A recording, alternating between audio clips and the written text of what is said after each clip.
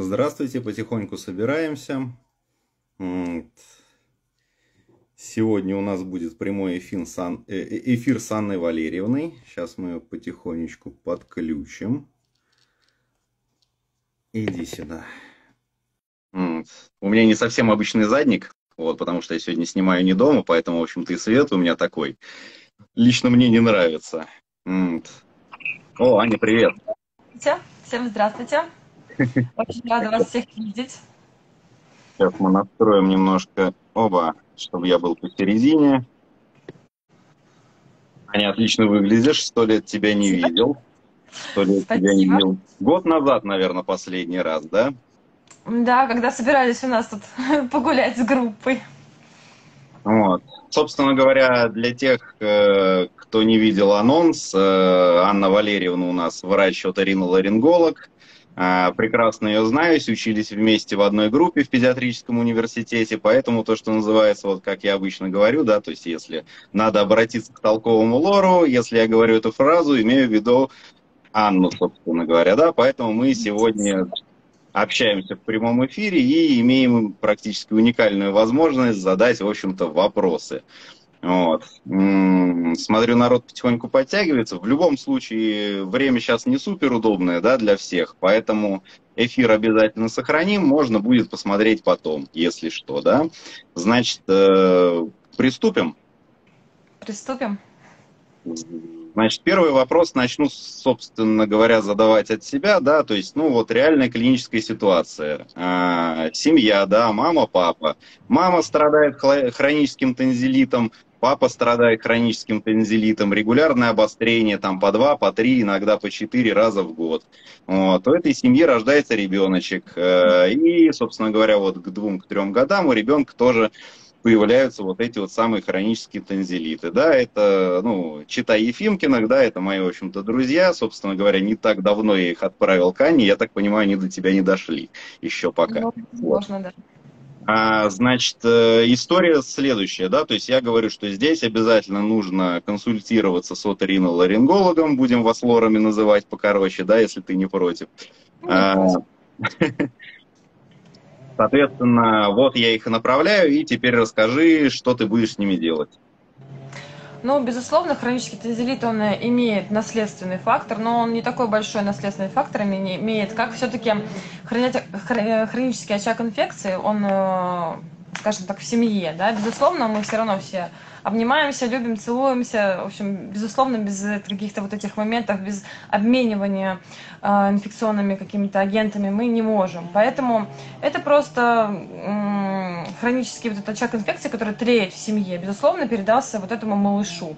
Ну, плюс еще и э, какой-то генетический компонент тоже присутствует. Э, что хочу сказать про родителей. Им, конечно, раз у них обострение достаточно частое, 3-4 раза в год, безусловно, нужно заняться лечением этого хронического танзелита, то есть санацией э, хронического очага инфекции. Что нужно сделать? Это сдать, безусловно, сначала анализы, ряд анализов. Это э, мы сдаем клинический анализ крови, смотрим на общую обстановку в организме, э, антистрептолизин, ревматоидный фактор и осло. Так, ревматоид, и цереактивный белок. Плюс посевы из зева и из носа, потому что мы должны знать врага в лицо. А, и э, сдать клинический, э, клинический анализ мочи, потому что могут быть различные осложнения, связанные с хроническим тензилитом, и мы проверяем ну, вместе, все в совокупности, что происходит в организме. После этого мы смотрим, оцениваем ситуацию и назначаем э, промывание лакуннебных миндалин. Это самое такое, в общем, распространенное лечение хронического танзелита. И уже после этого оцениваем э, динамику тех же результатов, которые мы исследовали. Э, если, например, мы какого-то товарища там нашли бактерию какую-нибудь, то, естественно, мы по чувствительности промываем э, с каким-то антисептиком либо с антибиотиком миндалина.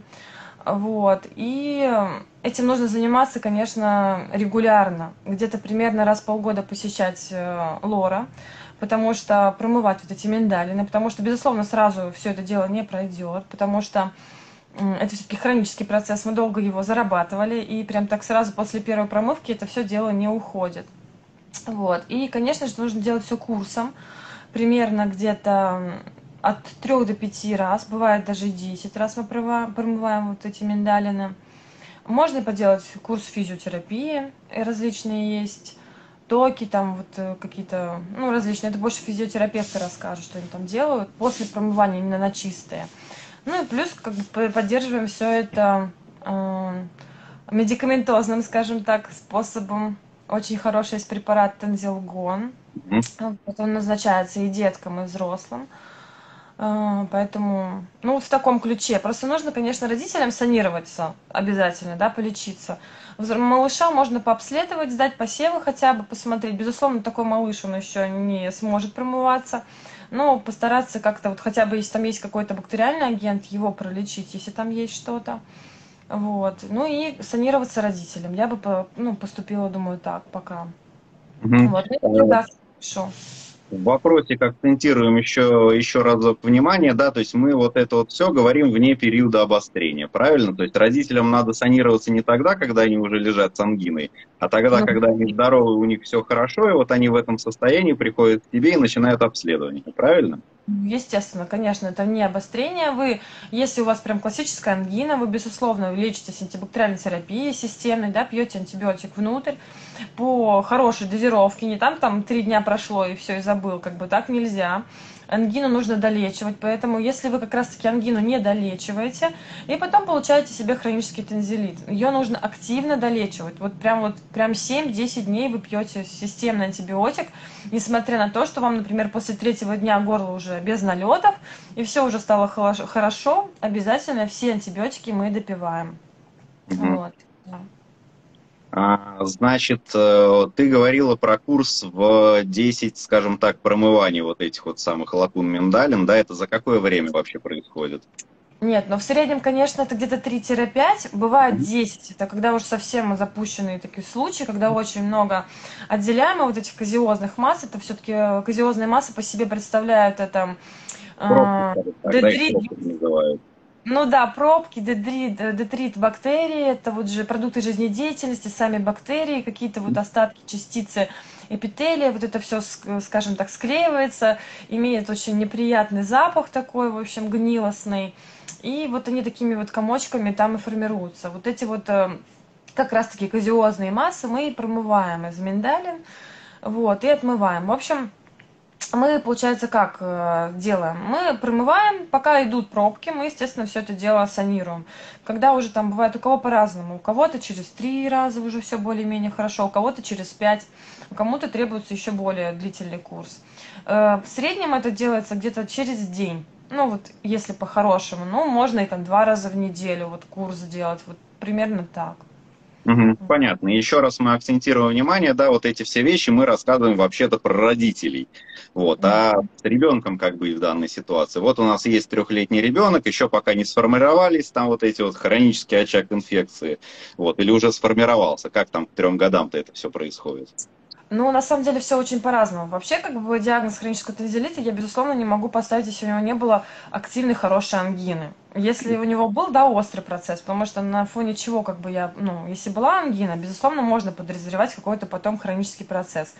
Сейчас, конечно, хронический тонзиллит можно, так сказать, поставить после каких-то очень частых фарингитов, ну, все-таки я думаю, что все-таки в три года вряд ли у него там уже сформировался хороший тензилит, да, с какими-то вот прям явными клиническими признаками хронического тензилита. Здесь нужно а, просто, говорю, сдать посев для начала из зева, из носа, посмотреть, есть ли там какой-то бактериальный агент. Если все там хорошо, то хорошо, просто как бы активно просто лечим в период обострения, ну, каких-то фарингитов. Если там есть бактериальная какая-то субстрат, то, безусловно, мы его пролечиваем. Вот, и, в общем-то, вот таким вот образом. Ну и, конечно же, родителям тоже, потому что хронический очаг инфекции, он, безусловно, ну, между родителями и детьми, он туда-сюда мигрирует. То есть, опять же, мы лечимся всей семьей дружно, да, все, все вместе, все вместе ходим к, а вот лор у нас взрослый, детский, ты вот, например, возьмешь там и детей, и взрослых сразу же, ну, в поликлинике, безусловно, у нас идет прием только ну, детский. Но вообще у нас общий сертификат мы ведем и взрослых, и детей. Угу. Да. То есть можно за один приход сразу всем обработать. Всем полечиться, да. Отлично. А, и сразу не, не уходя далеко от темы, смотри, регулярно тоже на работе сталкиваюсь с э, налетами у детей, например, до года, да, вот, но я же правильно понимаю, что у нас миндалины, вот эти вот классическое кольцо Пирогова формируется только после года, вот, соответственно, если мы видим там ребенка с высокой температурой и с такими прям красивыми налетами на, везде прям вот на миндалинах прямо их видно, это нельзя называть ангиной, да, то есть вот то, о чем мы сейчас говорили, это не про детей до года, это для детей детей старше там, ну, лет ты острый Острый Понятно. А, скажем так, тактика лечения, да, то есть если мы не говорим, опять же, про а, бактериальную инфекцию, это же вирусная инфекция должна быть чаще всего, правильно? То есть, скорее всего, какая-нибудь Эпштейн-бар или что-нибудь такое. Вот, соответственно, ну, здесь... Безусловно, может. Ну, в принципе, Эпштейн-бара тоже подразумевает антибактериальную терапию в любом случае. Э, ну, цефалоспоринового ряда, потому что он идет достаточно с э, сильным э, снижением иммунитета, в общем, mm-hmm. и, и очень часто присоединяется вторичная инфекция, поэтому даже здесь в любом случае будет антибиотик, если это Эпштейн, mm-hmm. и из мозги, конечно, можно сдать, но я думаю, что любой педиатр, в общем-то, все равно, значит, при каком-то активном процессе с налетами в горле в любом случае будет антибиотик. Просто будет контроль, проверит, посмотрит. Если даже, естественно, первым препаратом выбора будет амоксициллин, ну, амоксиклав или аугментин, вот этот препарат. Если там какие-то будут изменения, то, безусловно, поменяют на цефалоспориновый ряд, если это будет ВЭП, ну, вирус Эпштейн-Барра. Понятно. К тебе такие детей направляют же, да? То есть до года вот с этими с налетами. Ну, все-таки зачастую это педиатрическая служба больше. Mm-hmm. Все-таки, если это тем более активный процесс, температура и налет, они вызовут педиатра ну, домой к себе. Логично. Ну вот, поэтому, конечно, это все-таки больше будет э, педиатрический, ну, ребенок. Да и, в принципе, ангина вообще лечится у педиатра. Это не, как бы, по сути, как бы сама, ну, сама ангина это не, ну, не лор заболевание. Потому что там, mm-hmm. конечно, есть различные же потом нужно же и мазки сдавать на дифтерию, это обязательно, и актив, и потом, по сути, нужно еще сдавать клинический анализ крови через месяц, и повторный анализ мочи через месяц, если была классическая ангина, поэтому там разбираются с этим педиатром понятно. То есть, ну, если мы говорим про единичный, особенно первый, первый раз, вот когда эта вся история возникла, этот ребенок, скорее всего, к тебе не попадет, и, в общем, не твой он, грубо говоря, да. То есть, это если когда идут там частые рецидивы, вот, тогда уже, да, тогда уже в плановом порядке, опять же, вне острого периода его отправят к тебе. Ну, все-таки дети, наверное, это ближе к шести такие уже с тензилитом подходят. Ну, с шести к пяти, вот, но не раньше. Там полтора-три года, конечно, это очень редко такая, такой случай бывает. Хорошо, с этим понятно. Ну и, соответственно, там про всякие вещи типа удаления гланд, да, мы говорим тоже там гораздо старше. Вот, то есть для детей там... Ну, в общем, смотри, что по поводу удаления, безусловно, должны быть определенные, э, так сказать, показания для удаления миндалин. Mm-hmm. Ну, просто так нам надоели, они, мы их так не удалим. Это отсутствие эффекта от э, консервативного лечения, часто ангины обостряющиеся, да, там более трех раз в год. Ну и, конечно, абсолютным показанием это партензилярные абсцессы, это прям сразу вообще. И э, их только в этом случае удаляют, безусловно. Mm-hmm. Детки, есть просто такой момент, э, то, что гипертрофия небных миндалин, вот с этим бывает отправляет. Но это не хронический процесс, это просто увеличение да, небных миндалин, mm-hmm. они могут быть здоровыми, там нету казиоза, там нет каких-то застойных моментов, они просто увеличены. Действительно, на этом фоне могут э, мешать даже как глотать, ну, чуть слегка, да, и как-то, э, ну, неприятно, в общем. И вот такие вот миндалины мы можем подрезать, но только до 6 лет. Потому что после 6 лет мы их не подрезаем в связи с тем, что очень большой риск кровотечения. Вот, например, если вы делаете аденотомию, и заодно, скажем так, подрезаются миндалины, вот только до 6 лет. Поэтому дальше только уже удаление, потому что миндалины, они очень такие кровавые, и потом очень большой риск не остановить кровотечение. Угу. То есть мы их подрезаем только если они сильно мешают, да? Ну, в общем, да, сильно мешают. Ну, в силу того, что, в принципе, если у, у ребенка большие аденоиды, зачастую это идет вместе с большими э, небными миндалинами. Это прям ну, Бывает часто такое. Например, если ты видишь очень огромные небные миндалины, то вероятнее, что у него еще и аденоиды такие же большие, такие же сочные и свисающие в горло. И, конечно же, когда такой ребенок уже прям декомпенсировался, скажем, да, ему тяжело уже и все, и дышать, и уши, все у него уже там. В общем, мы его направляем на оперативное лечение. Ну, конечно же, мы еще и подрезаем миндалины заодно сразу. Вот. Удаляем метоиды и подрезаем миндалины. Это просто идет лазерная коагуляция, их просто чик и все. Угу. Чик и все, хорошо. Звучит неплохо. А, так, вроде с этим вопросом разобрались. Предлагаю перейти к вопросам, которые у нас заготовлены, вот, и в процессе будем еще обсуждать все остальное, потому что про гланды нас особо никто ничего не спрашивал, а про аденоиды там прямо много, вот.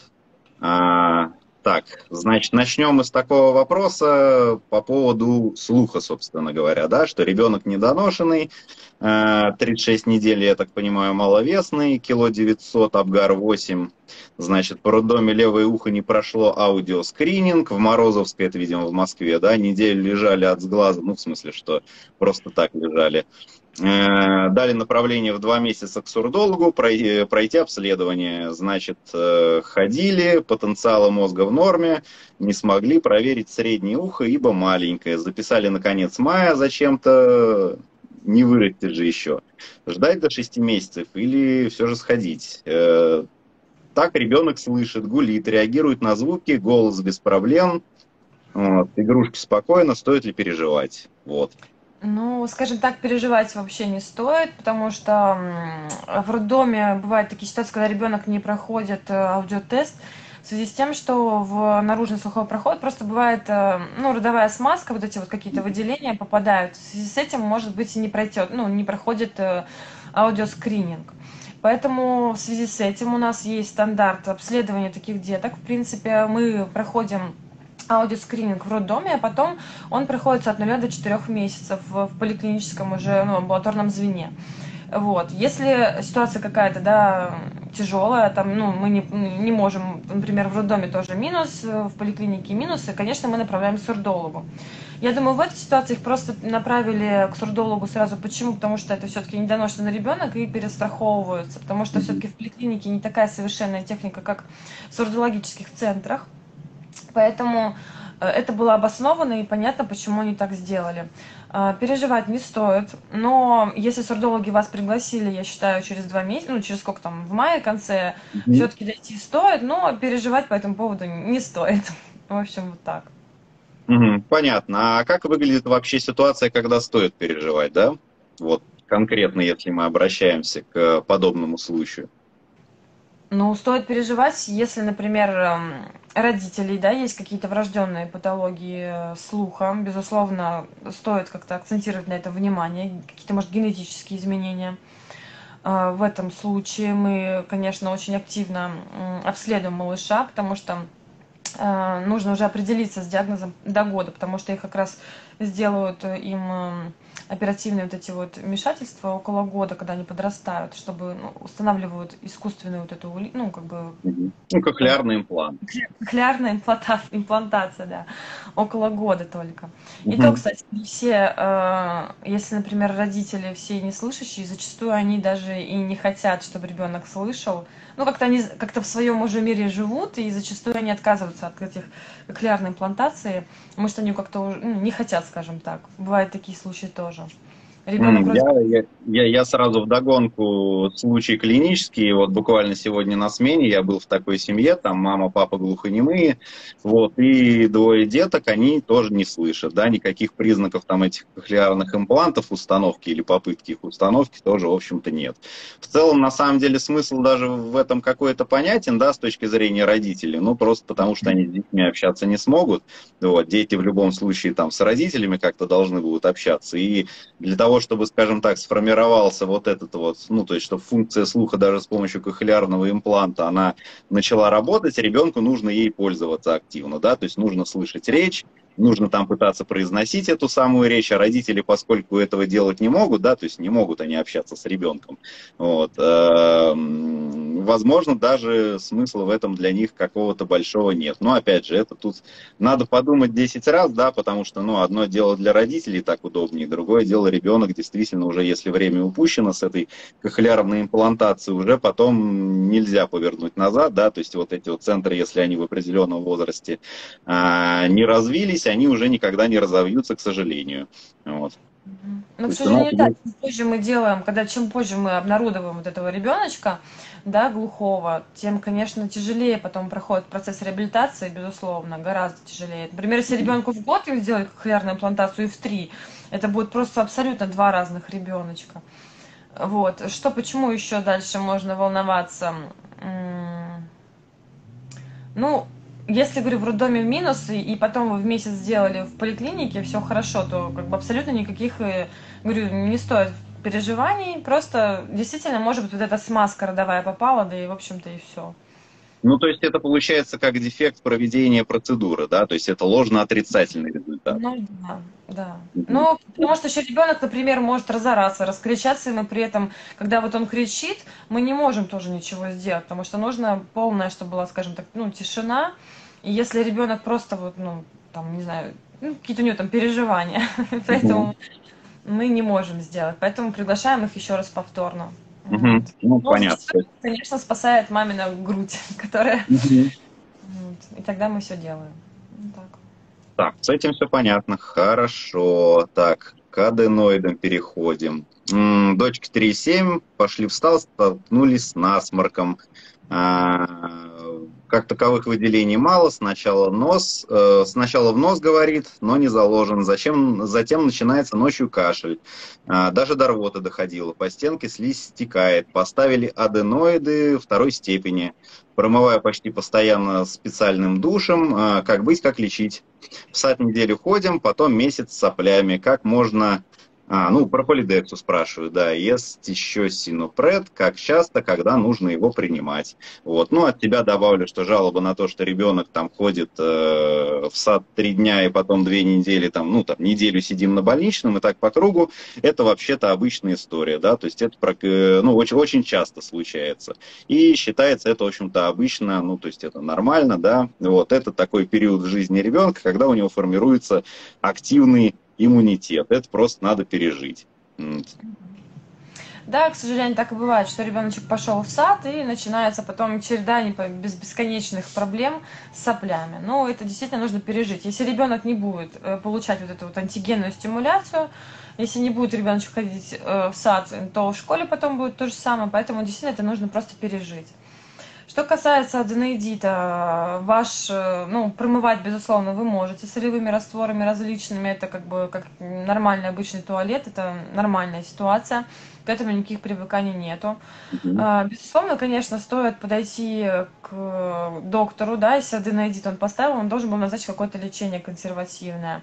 В общем-то, в этой ситуации я бы тоже порекомендовала сдать посев, потому что возможно, частные насморки обусловлены какой-то бактериальной инфекцией, которая, да, хронически персистирующая там в носу. Поэтому нужно, конечно, сдать посев. Э, в идеале посмотреть тоже, нет ли там какого-нибудь товарища, чтобы mm-hmm. его продержать. А, далее, для аденоидов у нас есть ряд препаратов. Это топические стероиды, значит, это типа препараты типа Назанекса, Дезеренита, Авамис, такие препараты мы назначаем, они убирают воспаление, уменьшают э, объем аденоидов. Но это, конечно, все мы делаем достаточно длительное время, э, примерно там месяц, а то и больше, ну, в зависимости от ситуации, ну, под контролем, конечно же, э, лор-врача, который вас смотрит. Дальше мы назначаем, есть ряд гомеопатических препаратов, потому что с аденоидами очень сложно справиться, вот, типа лимфомиазота. А, и каких-то травяных, вот э, танзелгон, синопред тоже можно, в общем-то, принимать такого плана. А, что касается полидексы, мы принимаем, то есть ну, брызгаем ее в нос только на чистый носик, когда вы уже сосуды сузили, да, потом промыли активно, и только после этого вы закапываете полидексу, то есть антибактериальное средство для того, чтобы убрать именно бактериальный какой-то очаг. Э, это желтые, зеленые какие-то вот такие вот сопли длительные. Э, почему на чистый нос акцентирую на это внимание? Потому что, когда вы закапываете нос на соплю, то потом с этой соплей у вас эта вся полидекса уходит, и никакого лечебного эффекта абсолютно не оказывает. Поэтому нужно обязательно сначала сделать, выполнить туалет носа, такой прям хороший, нормальный туалет. Э, что касается синупрета, это травяной препарат, там тоже различные травки, Его можно применять при каких-то ну, обострениях либо аденоидита, либо просто насморках, ринитах, синуситах. Ну, мы их принимаем от 7 до 14 дней в среднем. Ну, вот где-то так. Угу. А, ты прям пользуешься этими препаратами, прямо видишь от них эффект, да? Ну, в принципе, вот сам синопред, я не могу сказать, что я его прям очень люблю. Вот как-то тензилгон мне нравится. Он действительно, он как-то и при тензилитах, и даже при каких-то вот этих подкашливаниях, как-то мне вот нравится тензилгон. Но вот синопред, я как бы к нему спокойно так. В общем, а, полидекса? У полидекса это прекрасный препарат, он угу. антибактериальный, там плюс еще гормон есть. Бывает еще с фенилэфрином, то, что с сосудосуживающим эффектом. Ну, прекрасный комплексный препарат. Э, какие-то желтые, зеленые сопли, которые такие длительные, безусловно, он прекрасно идет. Но тоже есть вопрос, ну, как бывают различные ситуации, когда, например, уже выработалась какая-то устойчивость флоры, и он не mm-hmm. работает. Поэтому приходится менять на другой какой-то антибактериальный препарат, и все. Ну, их, в общем-то, глазных очень много различных, поэтому мы используем различные глазные капли, которые можно, их также можно использовать и в нос. Вот так. Потому что есть э, определенные публикации, которые говорят, что там при ринитах, например, а, неэффективно использование местных антибактериальных препаратов, вот, что только системные. Вот. Причем я это слышу неоднократно от педиатров, э, вот, э, ссылку на вот эти вот статьи, но лоры в основном с этим не согласны. Вот, лоры говорят, что мы этим, этим всем активно пользуемся, все это ерунда, все прекрасно работает. Я категорически вообще считаю, что уж лучше ну, давать местные антибактериальные mm. препараты, чем системный препарат. Если есть возможность использовать э, местный, то, безусловно, мы используем местный. Если ребенок там длительно болеющий, уже там мы перепробовали кучу всяких различных мероприятий, там кукушку и все остальное, то, конечно, мы назначаем системные антибиотики. Или там, когда у нас синусит, да, там загноем в пазухе, тут как бы никуда не денешься без системного, но когда есть там возможность, безусловно, мы его назначаем. Ну, педиатры, кстати, они вот зачастую прямо лечат только називином да водичкой. А потом mm-hmm. они приходят тебе через две недели, у нас сопли зеленые уже, там, не знаю, мы не можем справиться с ними, что делать, боже мой, помогите. Но почему педиатры не назначают там какой-то антибиотик, ну, иногда, mm-hmm. не все, конечно, но ну, бывает такое. Mm-hmm. Вот. Мы приходим, они прям приходят и говорят, ну мы уже лечимся две недели, у нас там сопли зеленые, мы не можем вылечить, чем лечитесь? Промываем, типа, аквалором, и все. Я говорю, ну молодцы, давайте тогда как-то активно полечим, и все. Потом через три дня им уже гораздо легче. Угу, понятно. И очень часто еще спрашивают про такой препарат ринофлумицил. Ринофлумицил прекрасный препарат, я вообще очень люблю. Вообще, в принципе, люблю ну, практически все препараты этого зомбона. Угу. Ринофлумицил, он хорошо разжижает и хорошо вот это все как бы, сопли отходит очень хорошо. Вот когда густые такие вот прям тяжело сморкающие сопли, и прекрасный препарат, можно его как раз использовать. И при синуситах он хорошо, когда как раз нужно отток наладить, очень хороший препарат. Mm, все понятно. Так, что к следующему вопросу, да? Mm-hmm. Вот, дочка с рождения дышит похрюкивание, похрюкивая, иногда даже во сне. А, так, пока маленькая совсем была, педиатр говорил, что кости лица растут, нормально это, да. Сейчас полтора года, дыхание не изменилось. А, консультации Лора посоветовали эндоскопию, подозрение на аденоиды. Так, а, во сне ребенок дышит ртом, дыхание через нос. Во сне дышит ртом, дыхание через нос. Не понял, ну ладно. Угу, угу. А, ну вот, э, когда сидишь чем-то увлечена, э, играет тоже шумное. Вот. Шумное дыхание, в общем. Угу. Ну, здесь могут быть различные тоже ситуации, не обязательно... Ну, вообще, как бы, действительно, когда малыш, малыш рождается, у него действительно бывает узость носовых ходов физиологическая, э, и мы на это, как бы, в принципе, сильно, сильно не обращаем внимания. Что там, промываем нос, да и все.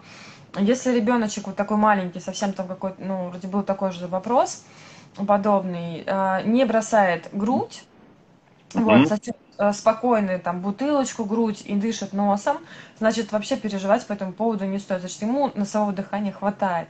Угу. Он потом просто прям перерастет, ну, все это дело действительно просто разрастется у него личка и все. Может быть, и вот эта полуторагодовалая девочка, а может быть, она просто миниатюрная. Это тоже может быть давать какие-то, ну, да, маленький еще носик и тоже может немножко подцапливать. Плюс может быть какой-то аллергический компонент. Не обязательно это могут быть аденоиды. Но может быть аденоиды. Нужно же тоже смотреть. Так не, не скажешь, что там аденоиды, не аденоиды. Какой-то аллергический компонент. Если, например, родители аллергики, то тогда нужно заподозрить еще аллергический какой-то компонент. А, вот посмотреть на ребенка, в общем-то, ну, обратиться к лору, посмотреть, чтобы там, что там, как бы диагностировать, есть ли там аденоиды или нет аденоидов. Конечно, в полтора года эндоскопию будет сделать весьма затруднительно, потому mm-hmm. что это не очень приятное мероприятие. Если только по каким-то гибким эндоскопам, вот, но обязательно... У вас все... есть в поликлинике? А, у нас есть жесткий эндоскоп, тоненький и хороший. Mm-hmm ну, хороший очень такой, тоненький, очень удобный. Гибкий у нас тоже есть в поликлинике, но его почему-то закупили очень толстым, что вот мне, например, проще сделать жестким эндоскопом эндоскопию, чем сделать вот этим жестким, толстым. Он просто не влезает в ноздрю меня детям. Понятно. Вот. Как бы, ну, если бы он был тонкий, гибкий, это было бы вообще идеально. Вот, э, ну, жестким тоже, в общем-то, все нормально, можно быстро сделать. Только если, конечно, я очень акцентирую внимание, чтобы не было каких-то аллергических моментов, то, что мы делаем все-таки с лидокаином. Угу. Поэтому, если есть какое-то там подозрение или еще что-то, я не буду делать с лидокаином в поликлинике, потому что, конечно, прям уж не хочется спасать кого-нибудь. Ну, собственно говоря, это такое лекарство, которое в топе аллергенов на самом-то деле. Да. Вот, поэтому рискованная история, согласен. Вот, как и применение препаратов, да, которые, в общем-то, вот это вот все содержат. Ну, раз уж про лидогоин заговорили, отипакс, да, там же у нас он в состав входит, правильно? Угу. Вот, соответственно, очень часто его и в поликлиниках просто так, в поликлиниках, в аптеках просто так назначают, да, то есть это препарат, по большому счету, первого ряда при, скажем так, катаральном отите, да, то есть вот у ребеночка только появился боль в ухе только появилась вот буквально там первые часы. И, собственно говоря, первая помощь, которую можно оказать, это, в общем-то, промыть нос э, солевыми капельками, закапать э, сосудосуживающие и местные вот эти вот самого типакс, да, потому что хлору для того, чтобы э, заглянуть, в общем-то, да, что там в ушах происходит, отоскопию, в общем, сделать, ребенок попадет, ну, чаще всего это происходит вечером и ночью, да, и, самое раннее это на следующий день, и то, если там лор, например, принимает или есть возможность найти платного, а еще чаще это бывает через день, два, три, четыре, вот как-то так. Uh-huh. Так что, собственно, как мы поступаем-то с этими капельками? Нормально? Вот. Можно рискнуть. Слушай, ну, честно говоря, вот, э, скажем, когда в уши капают, что-то такого у меня еще ни разу не было, каких-то проблем с лидокаином, mm-hmm. с, именно с атипаксом. Ну, ни разу mm-hmm. не встречала такого. Но, кстати, вот насчет атипакса, ну, да, конечно, это наверное, самый просто раскрученный препарат вообще, по сути, мне кажется. Он просто у всех на слуху. Вот. Но так... Что? Альтернативу предложи. Ну, вообще альтернатива, например, если у ребенка там что-то прям заболело, по сути, можно дать нурофен, да, в случае, как бы, когда вот острая ситуация, там потом вы до лора дошли. Но мне очень нравится ануран.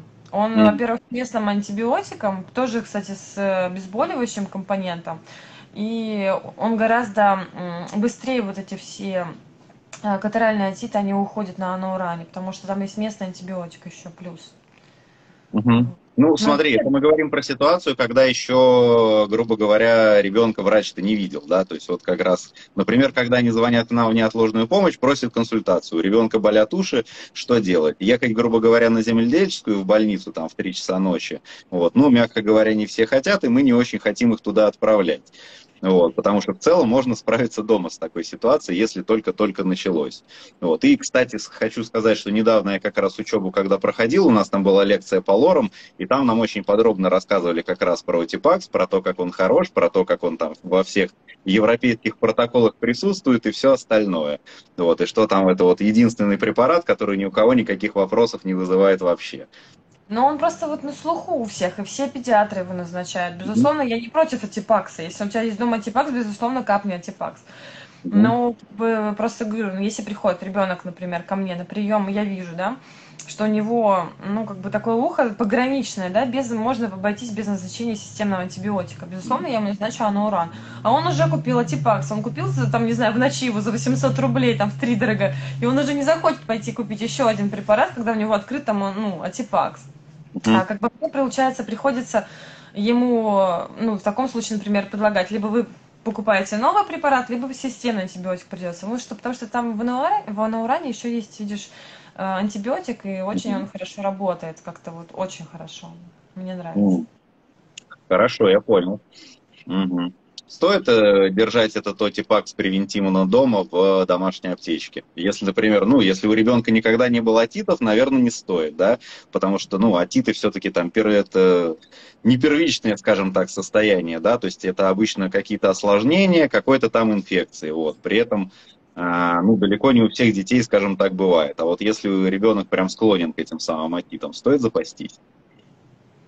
И, ну, я бы обсудила этот вопрос непосредственно с Лором, наверное. Mm-hmm. Если бы я бы запаслась, говорю, анаураном. Я не против атипакса, но если есть дома атипакс, конечно, можно его закапать. Но говорю, просто анауран, он качественно быстрее помогает. Он mm-hmm. просто реально быстрее помогает.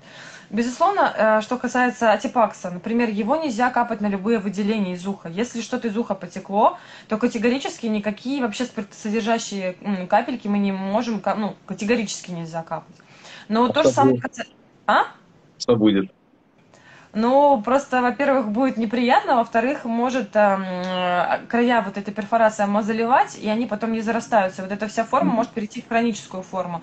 И на этом как бы фоне у нас получится еще плюс хронический отит, который не зарастет дырка, и потом нужно будет оперировать. Ну, не очень приятно.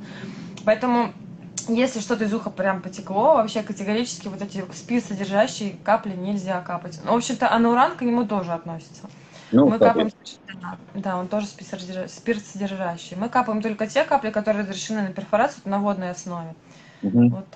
Поэтому здесь тоже как бы нужно, безусловно, там дождаться утра, ну, как бы вечером можно дать нурофен, даже на самом деле обычное там сухое тепло, ладошка какое-то вот успокоить, даже это поможет. Даже если вы водку там закапаете в ухо, ну реально это поможет. Это просто компресс по цветовищу, ну как бы это на самом деле нормальный вариант.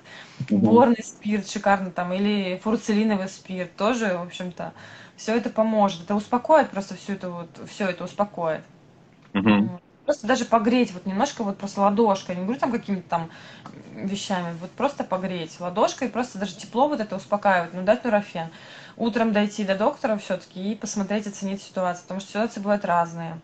Вроде сегодня, ну, с утра там вроде все более-менее только ухо заболело, а там раз смотришь, а там уже э, выбухающая барабанная перепонка, ну, там, с, гнойным содержимым, естественно, это все распирает, сильно очень болит, и, конечно, приходится делать процентезы. Угу. Ну и, соответственно, не всегда атит э, равно назначение антибиотика системного, да? Нет, нет. Ну, смотришь просто на степень вообще атита. Если атит, в общем-то, э, скажем так, ну, тубатит, да, или какой-то такой легенький, ты же смотришь на степень вообще, как, насколько красная барабанная перепонка, и поэтому от этого уже отталкиваешься. Если я просто их очень часто контролирую, допустим, если они пришли ко мне, я их лучше досмотрю сегодня-завтра, да, вот чтобы более-менее понимаю, что все дело пошло на лад. Если нет, то, конечно, да, назначим там через пару дней антибиотик, если уже нужно будет. Ну, ну то есть динамическое наблюдение, да. Угу. Да, просто, ну, наблюдение. Нужно хотя бы там два, там, день через день посмотреть. Вот, если все уходит, то хорошо. Вот, на местном антибиотике. Mm, хорошо, все принято. Так, ну что, вернемся к вопросам. Э, ребенок 6 лет, часто болеет. Лор сказал аденоиды, их надо удалять. Действительно ли надо? Ну, э, показания для аденотомии, в общем-то, есть, э, это частые простудные заболевания, ну, достаточно частые. Э, Все-таки проблемы с ушами стойкие какие-то, это могут быть секреторные отиты различные, или, например, отиты, гнойные отиты, вот часто рецидивирующие.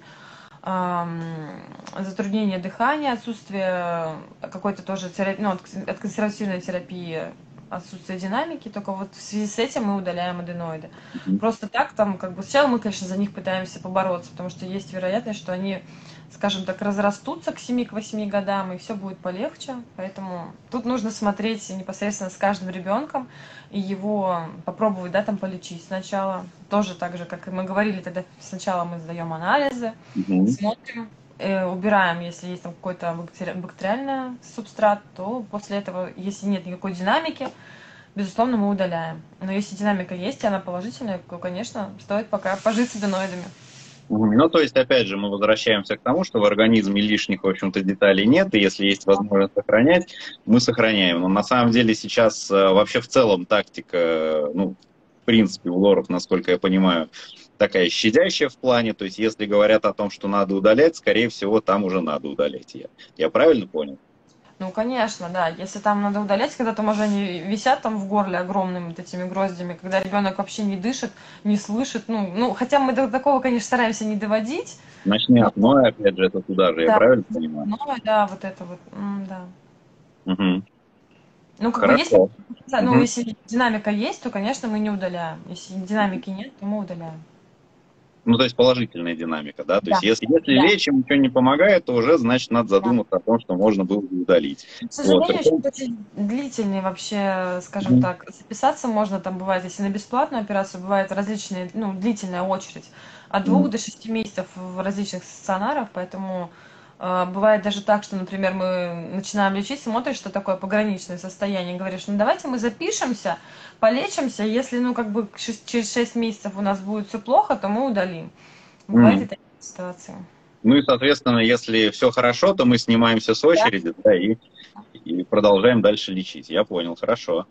Так, следующий вопрос. Ребенку 7 лет удалили аденоиды, сейчас 9. А, могут ли они вырасти снова? Вот, или уже пере- переросли?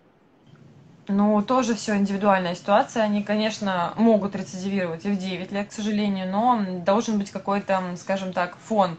Либо аллергический на фоне аллергии, очень часто рецидивируют э, аденоиды, либо бывает, когда ребенок перенес какую-то мощную вирусную инфекцию, вот на этом фоне тоже бывают э, рецидивы. Но так, конечно, 7 лет уже более-менее возраст, когда не должно быть рецидивов, но ситуации бывают разные, бывает и так. То есть бывают ситуации, когда по несколько раз приходится их удалять, да? Да, бывает и три раза дети удаляют аденоиды. Всякие ситуации бывают. А к какому возрасту мы уже говорим, что аденоиды не актуально? Не актуально удалять? Вообще, ну то есть уже все, уже нету их. Уже переросли. Так, ну, бывает, ребенок в 14 приходит с аденоидами. Ну, если там взрослый-то уже не может быть с аденоидами, правильно? У взрослого просто это понятие по-другому называется. Это называется не То есть может быть, но называется по-другому. Аденоидной вегетацией, да, это называется аденоидной вегетацией. Если уже у взрослого есть аденоидная вегетация, то их сначала берут на гистологию перед тем, как удалить. Потому что это могут быть различные, так скажем, онкологические проблемы, если у взрослого видеть, да, такую плюс ткань. Вот, и если там все гистология спокойная, то их просто удаляют, либо лазером тушируют, поэтому тоже могут удалить. Мгм. То есть, опять же, с возрастом проблема может не уйти, но там тактика меняется. Ну да, но в основном, конечно, все-таки они, ну, если все хорошо, то они уходят.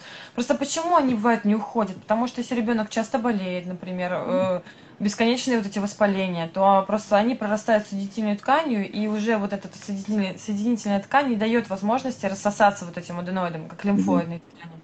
И даже когда мы, бывает, удаляем вот эти аденоиды, они прям хрустят, так вот, прям вот эти соединительная ткань, в общем, ну, просто не дает им рассосаться с возрастом. Потому что, по сути, да, конечно, уменьшение аденоидов начинается там 7, 8, 9, там, да, 10 лет, ну, в норме, они уже начинают, скажем так, рассасываться, ну, свою функцию уже не выполняют, вот, и они уходят в норме.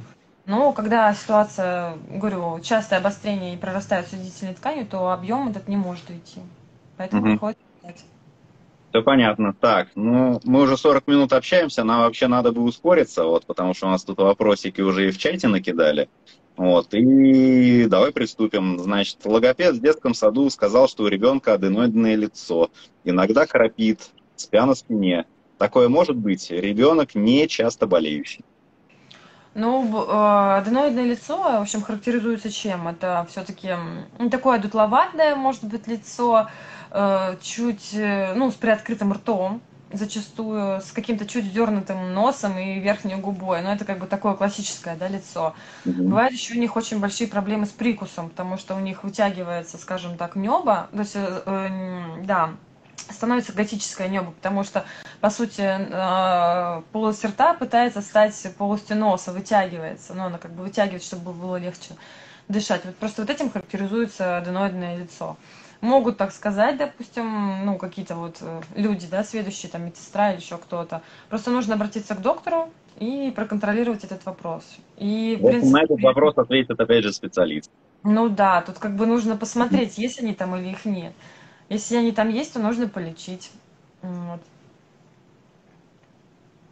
Так, а, вот вопрос, который мы уже обсуждали, да, который второй про шумное дыхание. Значит, с рождения шумно дышит, сейчас 6 месяцев, педиатр говорит, что узкие ходы. Вот. А, что это такое и нужно ли лечить, да? Если само пройдет, то когда примерно? Ну да, в принципе, мы уже обсудили, но можно так вкратце. Ну, получается, можно просто промывать обычным физраствором, там, аквалором, аквамарисом, как удобно, mm-hmm. отсасывать вот эту ситуацию, все, там, если есть что-то. Ну и ждать просто пока перерастет. Если ребенок сам миниатюрный, то, естественно, будет чуть подольше. Но так, ну, году, в принципе, он должен уже нормально дышать. Угу. Да, физиологический стридер вообще официально считается до 6 месяцев, да? Угу. Значит, э, у дочки с рождения заложен носик, сейчас два месяца, до сих пор не прошло. Соплей нет, нос не дышит, когда дочь лежит. То есть, видимо, когда лежит, не дышит. Каждый день промываем морской водичкой, капли не помогают от заложенности. Долго эта заложенность будет, и нужно ли что-то еще делать, э, чтобы полегче было дышать. Ну, в общем-то, в принципе, все то же самая история. Ну, с узостью носовых ходов, может быть, это в два месяца. Если прям конкретно не помогает. Ну, вообще, сосудосуживающими каплями лучше не увлекаться, потому что все-таки можно просто подсадить нос на это все и потом как бы испортить носик себе. Можно взять э, обычный есть растворы гипертонические, не изотонические, да, вот эти вот, а гипертонические растворы. Это которые всякие, да? Аквамарис и форте. Да, Аквамарис Форте, Аквалор Стронг, вот это все. Они, в принципе, с, ну, получается, их дают с более старшего возраста, но это только из-за того, что из-за подачи там, ну, подачи там струя такая. Поэтому вы просто сливаете их там в рюмочку какую-то и пипеточкой просто их закапываете. Они, в общем-то, будут давать более такой сильный эффект, ну, эм, противоотечный. Поэтому, может быть, их использовать лучше, чем сосудосуживающие капли. При том, что сосудосуживающие капли от себя добавлю еще не, нередко могут давать передозировку. Вот, это довольно легко сделать, э, особенно если мы говорим про какой-нибудь нафтизин, хотя, в общем-то, и називин какой-нибудь бэби, если хорошенько ливануть, тоже можно передозировать, в общем-то, запросто. А, в общем-то, вода, содержащая соль, ну, там что-то прям сильно навредить очень тяжело. В теории, конечно, можно, вот, но прям надо постараться. Ну, можно чуть пересушить, конечно, но вообще, конечно, сам э, производитель заявляет, что там пересушить невозможно, но, mm-hmm. конечно, пересушить можно вот этими гипертоническими растворами. Но, в общем-то, все более-менее нормально проходит обычно. Угу. Так, следующий, да, значит, сыну 3,7, ходит в садик, постоянно болеет соплями, причем долго. А, текут по задней стенке, что вызывает кашель. Лечим полидексы, промываем, как избавиться от них быстро, постараться не залечить, чтобы это в хроническое не переросло. Ну, безусловно, лучше, конечно, обратиться к лору, посмотреть, да, может быть, там и аденоиды действительно есть, да, и, как повторюсь опять, посев, посмотреть, полечить аденоиды. Mm-hmm. Полидекси пользоваться можно, если это какие-то уже бактериальные сопли, там желтые, зеленые, вот такие mm-hmm. сопли. Но сколько там, ну 5-7 дней, ну до 10 можно довести. Как часто? Пока помогает, потому что бывает так, что зачастую, что привыкает, скажем так, уже флора, и полидекса потом не работает, приходится просто менять. Что касается часто болеющих детей, кстати, вот есть такая штука, как называется вирус-блокер. Можно прямо вешать его на э, одежду и угу. ходить с ним в садик. Но это в зависимости от того, что разрешат ли в садике. Вирус-блокер это там такая штучка, как блистер, ну, как бейджик, что ли. Там находится диоксид хлора вроде, ну, не помню, что там mm-hmm. находится. Ну, и он как бы снимаешь вот эту этикетку, и он как бы вроде создает какие-то более-менее, ну, стерилизует воздух. У нас, общем, коллеги, очень серьезные вопросы к механизму работы этой штуковины. Слушай, на самом деле мы ходили с ним, нам помогало. Мгм.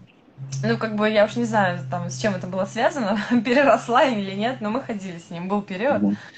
Более-менее, ну как-то вот э, кому-то помогает, кому-то нет. Я же не говорю, безусловно, там, когда тебе в лицо там уже плюнули или чихнули, он, конечно, от этого не, ну, не спасет. Но когда какие-то, может быть, такие летящие из- издалека, может быть, и остановится кто-нибудь. Ну вот я и говорю, основной вопрос к тому, как это должно работать.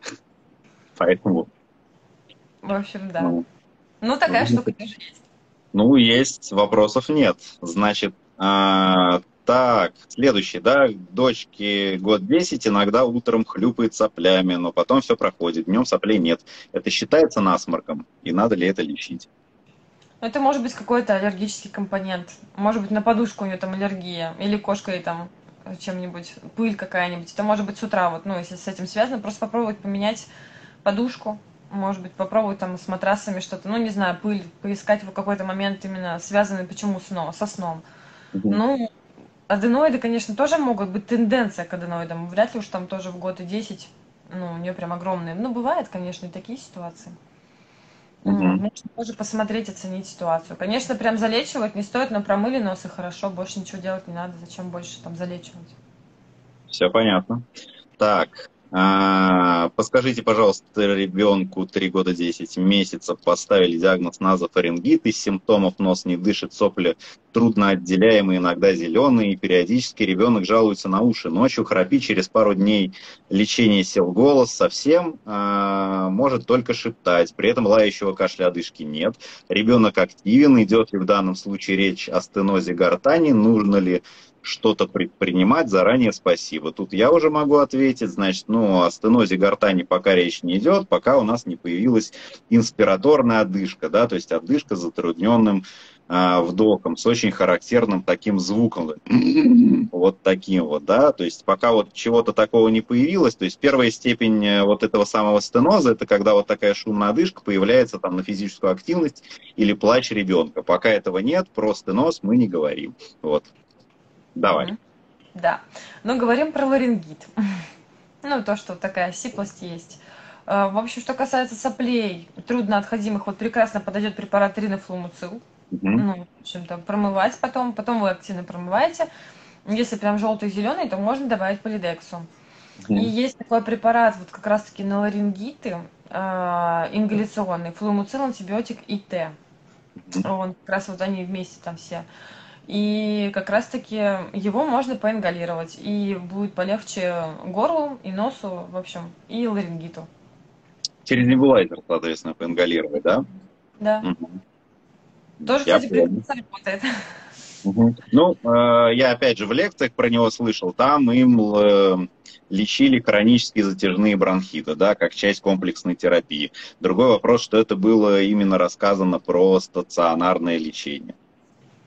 Нет, кстати, он, э, он прекрасно, говорю, ларинги... У нас, по сути, нету местных э, ингаляционных каких-либо антибиотиков, кроме него сейчас. Был Это раньше да. же, э, как его, забыла, как он называется. Да бог с ним, его уже нет с нами. Биоборокс, вот. Он Его уже прекрасный. нет с нами уже года четыре. Да, да, его же отменили, и по сути он как бы был ингаляционным. Он очень хорошо тоже и ларингит, и все, вот это все выходило. А сейчас приходится либо системный сразу давать, либо вот можно ингаляционно именно поингалировать флумуцил, антибиотик и Т. Мгм. Понятно. Так, сколько дней подряд допустимо давать ребенку нурофен в качестве обезболивающего при прорезывании зубов? Даю на ночь, иначе спит крайне беспокойно. Какие мази местного действия? Никакие мази не помогают. Есть ли другие эффективные средства обезболивания? Это на самом деле вопрос скорее ко мне, да, потому что Значит, э, ну, с нурофеном история такая, что столько, сколько необходимо, по большому счету. На самом деле у этих нестероидных противовоспалительных есть схема применения там по две недели и по месяцу, да, самое главное соблюдать дозировки, ну и опять же, да, чтобы были для этого показания. Вот, зубы режутся редко больше недели, поэтому навряд ли вы эти вот временные интервалы, скажем так, превысите. Вот. И, соответственно, здесь у нас информация вся та же самая, что про жаропонижающие, потому что все жаропонижающие, они они же противовоспалительные, они же обезболивающие. Вот. У нас в детстве два основных препарата, это ибупрофен, он же нурофен, и парацетамол, опять же, в любой форме. Вот. И чередуете их между собой по мере необходимости. Все, у нас вроде бы закончили. Или ты что-то хочешь добавить по этому поводу? Да нет, я вообще полностью согласна. К зубам я не имею никакого отношения. Да, вот это скорее действительно не к тебе вопрос был. Так, э, у нас осталось буквально там минуток пять, да, нам надо завершить до э, часа эту лекцию, чтобы она у нас успешно сохранилась. Поэтому сейчас быстренько пару вопросов из чата. М-м, при воспалительном процессе миндалин... Так, а, ну это наоборот от нет, да, при воспалительном процессе миндалины перекрывают горло, ребенок задыхается, надо подрезать. Вопрос такой. Ну да, вот если ребенку до 6 лет, если в этом, ну, действительно, можно подрезать. До 6 лет. Если это, это... 6 лет. Больше 6 лет, к сожалению, подрезать уже не будут, потому что есть риск кровотечения. Угу, я понял. Так. Так, так. У нас тут какой-то вопросик есть. Гайморит, есть гнойное выделение. Прокалывать? Ну, если вы сделали рентген, снимок, и там мы увидим э, классическую да, картину гнойного синусита, безусловно, э, лучше это все, весь очаг ну, санировать и убрать. Качественно сразу становится легче, гораздо быстрее. Ну, если другой путь пропить сначала неделю системного антибиотика, если через неделю нет никакой динамики на рентгене, то все равно прокалывать. Но после прокалывания, конечно, гораздо быстрее все это дело идет и проще. И меньше риск хронизации, кстати, инфекции, перейти в хроническую форму синусита и потом повторного рецидива синусита. Если угу. активно хорошо санируется, то нет риска такого. А то, что говорят, э, что один раз проколешь и второй раз будешь прокалывать, это все ерунда. Понятно. Хорошо. И прокалываем мы же в стационаре, правильно? То есть вы там в поликлинике не делаете этого? Ну, вообще делаем иногда. Бывает, Понятно. делаем. Mm, я да, вообще... Я... А? Что? Всех тоже с праздником, вот, надо потихоньку завершать уже, да, у нас там этот самый, чтобы прям все сохранилось, чтобы всем, все, все, все четко получилось, вот. Православным Христос воскресе, вот, Аня, большое спасибо, получилось здорово. Вот, видишь, ты говорила, тяжело час болтать, по-моему, наоборот, времени не хватило ни разу. Вот. Так что, если ты не против, мы бы, может быть, потом как-нибудь повторили, да, потому что я так понимаю, что в целом, как бы, основной блок вопросов мы обсудили, но поболтать, в общем-то, есть еще о чем. Вот. Так что спасибо большое. Вот, передавай привет домочадцам. Вот, в скором времени мы с тобой увидимся, пока не буду спойлерить, да. Вот, ну и все. Всем спасибо. счастливо, всем пока. Спасибо. Да. Была рада познакомиться со всем этим э, методом прямого эфира, потому что это мой был первый опыт, я очень переживала mm-hmm. и волновалась, но спасибо, Дима, было Ты очень... великолепно, молодец. Да, очень комфортно, я даже удивлена, что было все очень хорошо. Спасибо всем, mm-hmm. до свидания. Да, все, до свидания. Все, пока-пока.